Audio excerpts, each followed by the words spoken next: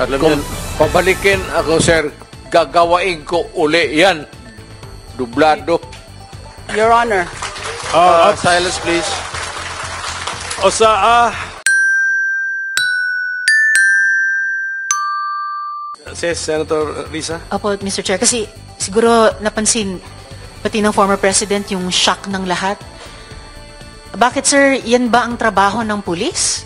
Na pumatay ng mga suspected criminals? Sir, yung mic nyo. Pag dumaban, bakit Iba po yung pagka-express kasi kanina, so I had to clarify. Bakit Salamat, sila- SP Pro Tempore. bakit sila mapag- Salamat, Mr. Chair. No, no, no. Hindi yan ang tanong ko. Ah, talagang ano, ah, maling ma- napaka hindi magandang impression po ng mga statements ah, kanina. Kaya I appreciate the candor of uh, Yusek Kuy at pati kanina ni ni ah, General Danao. Look, ah, ma'am, about it. may I Salamat tayo, interrupt Chair. you I'm done, Mr. Chair. for now. kindly? Ahead, Itong sir. Go mga to, ma'am, galing ito ng mga sa Academy PMA. Hindi ito mga bubo. Hindi rin ito papayag na utusan mo ng illegal. Doon yan sa academy nila, sa PMA, they are from to yung ano talaga yung batas.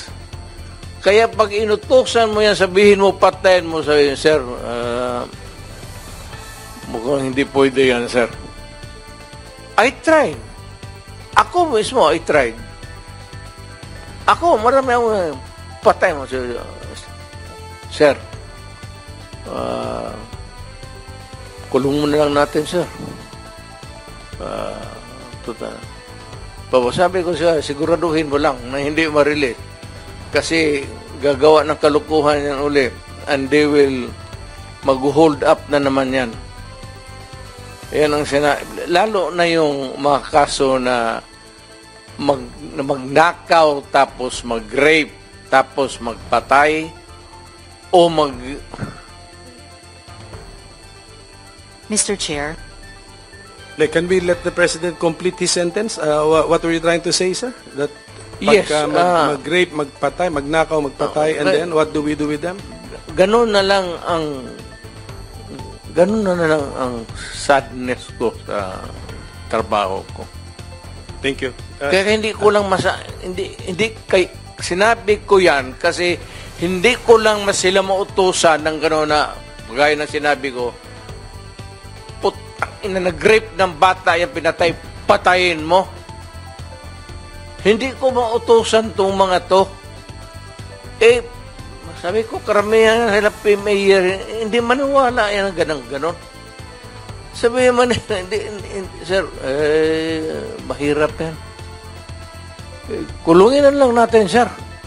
Walang dumaan yan sila sa... There was never a time na sinabi ko, patayin ninyo yan.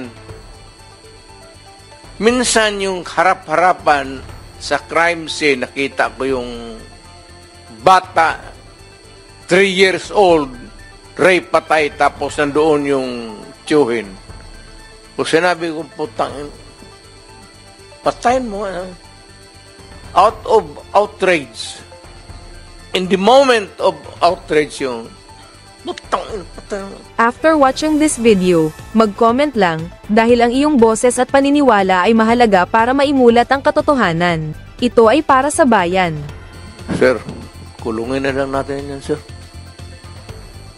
ano nangyari doon, Mr. President? Yung insidente na yun, napatay nga yung, yung tito? Pinatay? Hindi. Hindi.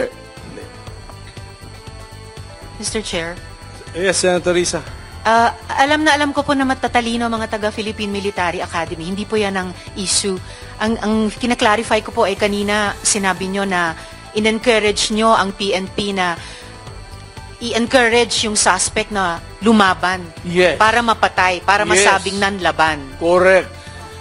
Correct. It, Para it was a very incorrect. Correct, yes. Very incorrect po, Yes, I may say as a civilian, a- sa professional police. It's, it Salamat depends tayo, on, Mr. Chair. eh, eh, ano na natin yan, ma'am. That's your view, that. uh, ma'am. It's not my Hindi view only, Mr. Chair. dumaan ng- Thank you for putting it on dumaan record. Pagka mayor, pagka prosecutor, Ako, alam ko, duman ako, prosecutor, mayor, presidente, alam ko ang trabaho ko.